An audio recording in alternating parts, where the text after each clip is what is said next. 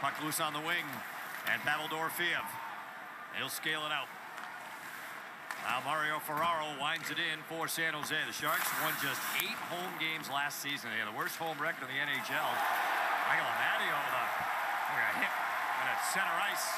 That was one of those plays. Puck was kind of in his feet, but he made the play. Took a hit to get that play deep as Burroughs stepped up on Amadio.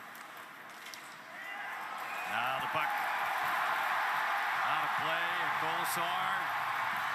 And a drop the Medford Burroughs after Burroughs dropped Amadio. Now Kolesar with a right that knocked Burroughs' helmet right off.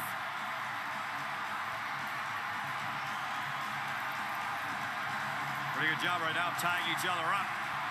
Kolesar trying to land that short left. All Burroughs got a hold of each other's arms. Now, yeah, Kolesar's going to switch. Some of those jersey jabs.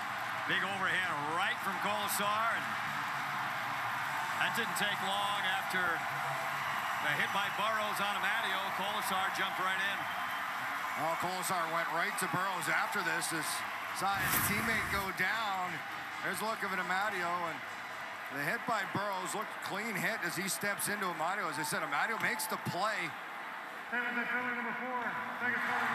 and Burroughs had a quick discussion. They dropped the gloves. They each get a little shot into the beginning, and then you said it, those jersey jabs as Kolesar got the left hand, and at the end he gets the takedown on Burroughs. So uh, the, the rivalry's kind of faded with these two teams going in opposite directions the past couple of years, but maybe rekindle it here in this first, second game of the season. Kolesar, his first fight, and said Kyle Burroughs trying to make his mark here in San Jose, his first season.